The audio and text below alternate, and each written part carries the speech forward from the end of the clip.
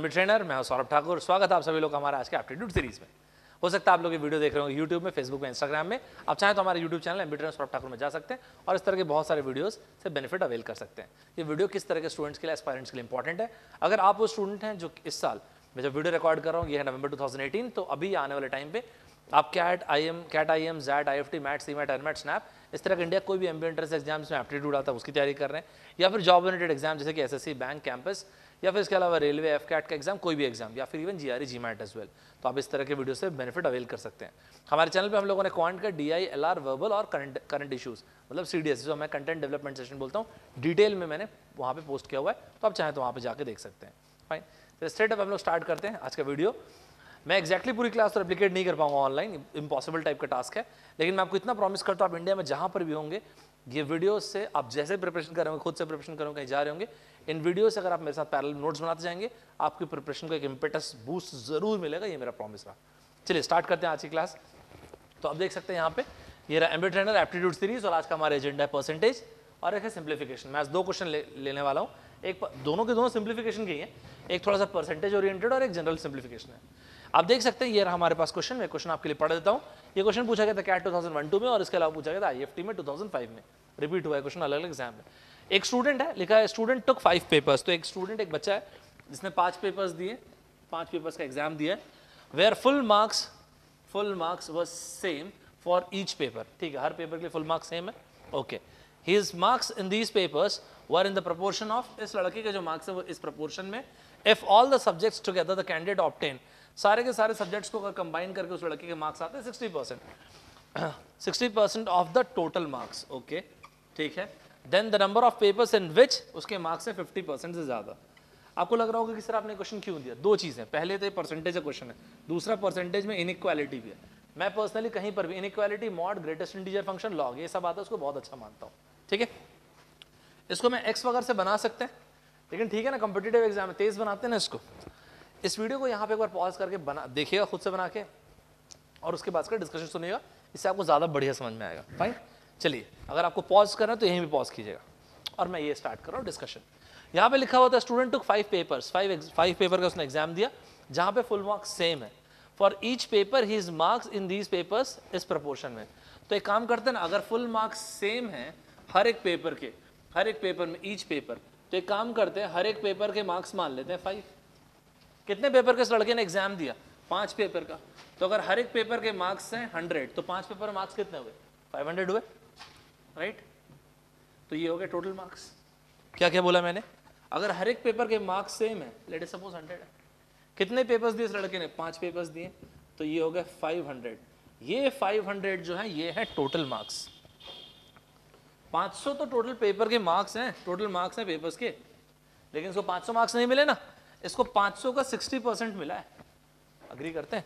मतलब ये जो बच्चा है इस बच्चे को कितने मार्क्स मिले? 60 परसेंट सिक्सटी परसेंट किस चीज़ का? 500 का। 500 का 60 परसेंट मतलब कितना हो भी 300 तो ये रहा इस लड़के को जो 300 मार्क्स मिले किस अनुपात में, किस प्रपोर्शन में मिला हुआ भाई? ये रहा। मतलब एक सब्जेक्ट में उसको मिला सिक्स एक्स मार्क्स दूसरे सब्जेक्ट में उसको मिला सेवन एक्स मार्क्स तीसरे में एट एक्स नाइन एक्स और लास्ट वाले में टेन एक्स तो अगर मैं आपसे ये बोलूँ, इस लड़की को टोटल मार्क्स कितने मिले? तो आप क्या बोलेंगे? आप बोलेंगे ना, सर सभी को ऐड कर दीजिए ना। Six X plus seven X plus eight X plus nine X plus ten X is equals to आप भी बोलेंगे sir three hundred correct point है कि नहीं अभी? ऐड कर दे चलिए ऐड करते हैं। मेरे साथ ऐड कर दिएगा ten plus nine nineteen nineteen plus eight twenty seven twenty seven plus seven thirty four thirty four plus six forty तो ये हो गया फोर ज़ीरो फोर्टी एक्स और ये हो गया 300 x की वैल्यू आ गई 7.5 अग्री करते? इस लड़के के मार्क्स कितने कितने थे? इसके marks six X seven X eight X nine X ten X हमसे सिर्फ़ ये पूछा गया था, ऐसे कितने पेपर्स है जिसमें इसके मार्क्स 50 परसेंट से ज़्यादा है? एक पेपर में इसके मार्क्स है सिक्स एक्स एक पेपर में सेवन एक्स एक और पेपर में एट एक्स एक और पेपर में नाइन एक्स और फाइनली इसके मार्क्स कितने टेन एक्स अग्री करते हैं? चलिए एक्स की वैल्यू यहाँ पे कितने कितने गिवन है? एक्स की वैल्यू सेवन पॉइंट फाइव तो ये हो गया six into seven point five ये हो गया seven into seven point five ये हो गया eight into seven point five ये हो गया nine into seven point five और ये हो गया ten into seven point five देखिए, ऐसा नहीं कि मल्टीप्लाई नहीं कर सकते, लेकिन हर वो चीज़ जो कर सकते हो, वो कर दें, ऐसा ज़रूरी नहीं है। करने की ज़रूरत नहीं ना हर जगह मल्टीप्लाई देखिए, आपको क्लियरली दिख रहा होगा यहाँ पे six into seven forty two और ये हो गया थ्री मतलब फोर्टी फाइव ये रहा है फोर्टी फाइव तो फ़र्स्ट सिक्स एक्स वाले में तो फोर्टी फाइव मार्क्स हैं। ये फिफ्टी परसेंट से कम है क्या हाँ ये तो है। Seven into seven forty nine seven five हाँ फिफ्टी से ऊपर है। जब यही फिफ्टी से ऊपर है तो इसमें से ऐसा कोई भी मार्क्स नहीं होगा जो फिफ्टी से कम होगा। तो ये सारे के सारे, हमसे पूछा गया था कितने ऐसे पेपर से फिफ्टी से कम है? तो इस वाले केस में हम देख सकते हैं कि यहाँ पे फिफ्टी से कम मार्क्स है। तो इसकी ज़रूरत है क्या? बिल्कुल ज़रूरत नहीं है। ये सारे के सारे केसेस जब सेवन एक्स ही आपका फिफ्टी से ऊपर जा रहा तो ये हर एक केस जो होगा, इसमें फिफ्टी से ज़्यादा मार्क्स। तो कितने पेपर होंगे ऐसे? एक, दो, तीन, चार। इसमें तो फिफ्टी परसेंट से कम मार्क्स है, उड़ा दिए इसे। क्या आंसर है भाई? हमसे पूछा गया था, ऐसे कितने पेपर है जिसमें इसके मार्क्स 50 परसेंट से ज़्यादा है? ऑप्शन थे two three four five what is the answer four हमने हर एक को सॉल्व नहीं किया। हमको समझ में आया कि सर सेवन एक्स में जो सेवन एक्स में क्या है? सेवन एक्स में फिफ्टी परसेंट से ज़्यादा मार्क्स आ रहा है। और अगर सेवन एक्स में फिफ्टी परसेंट ज़्यादा आ रहा है तो बाकी में तो ऑटोमेटिकली आएगा। सेवन एट नाइन टेन एक, दो, तीन, चार। क्लियर हो गया? क्या सीखा आपने? हम एक्स लेके बना सकते थे हंड्रेड लेके बनाओ ना हंड्रेड लेके बनाना टेन लेके बनाना वन लेके बनाना, बहुत बढ़िया चीज़ है। तो हम लोगों ने क्या किया हंड्रेड ले लिया था, हर एक सब्जेक्ट के मार्क्स पाँच सब्जेक्ट है तो पाँच सौ मार्क्स हो गए इसके, बढ़िया है। इस लड़के को पाँच सौ नहीं मिले, पाँच सब्जेक्ट के मिला के पाँच सौ मार्क्स है। इस लड़के के मार्क्स तो सिक्सटी परसेंट है थ्री हंड्रेड मार्क्स है। इन सभी को ऐड किया six X seven X eight X nine X ten X सभी को ऐड किया तो आ गया तीन सौ। तो एक्स की वैल्यू आ गई। क्लियर है सभी के यहाँ पे? चलिए। एक और सवाल देखिए इसी में। ये रहा एक और सवाल। ये specially bank S S C campus F K R exam के लिए बहुत इंपॉर्टेंट है।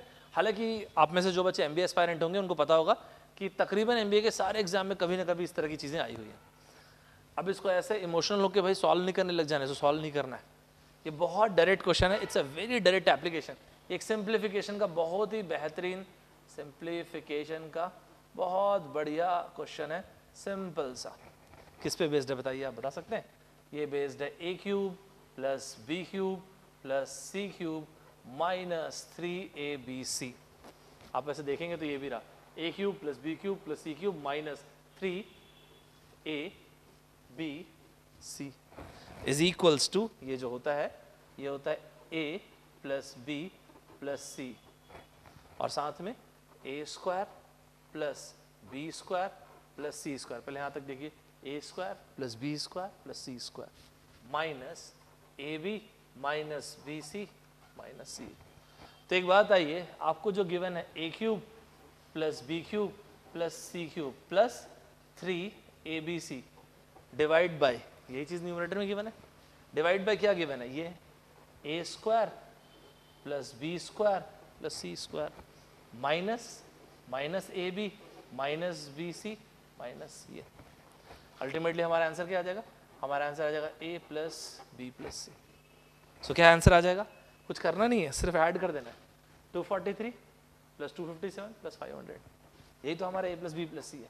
Two forty three plus two fifty seven plus five hundred add कर देंगे, आपका आंसर आ गया one thousand so what is the answer बिल्कुल ध्यान रखिए कॉम्पिटेटिव एग्ज़ाम का बहुत फ़ेमस क्वेश्चन है. A cube plus B cube plus C cube minus three A B C is equal to A B C मतलब A plus B plus C is into A square plus B square plus C square minus A B minus B C minus C very very famous तो आप में से जो भी बच्चे M का exam देने वाले हैं, चाहे ये वैसे कैट में पहले, बहुत सालों पहले पूछा हुआ क्वेश्चन है। अब तो बहुत सारे जो मैट सी मैट इस तरह के एग्ज़ाम है एनमैट के एग्ज़ाम है। एनमैट में बहुत सारे इस तरह के सिंप्लीफिकेशन क्वेश्चन बनते हैं। स्नैप के एग्ज़ाम में या इस तरह के छोटे छोटे एग्ज़ाम्स के पेपर में। मतलब छोटे कहने का मतलब with all due respect simple papers में।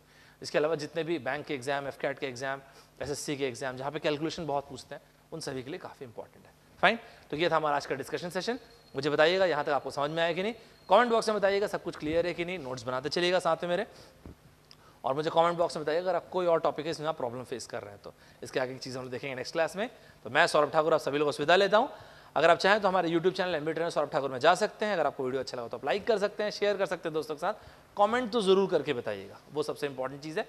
कमेंट करके बताइएगा अगर आप किसी और टॉपिक में प्रॉब्लम फेस कर रहे हैं तो। फाइन बाय बाय बड़ी टेक केयर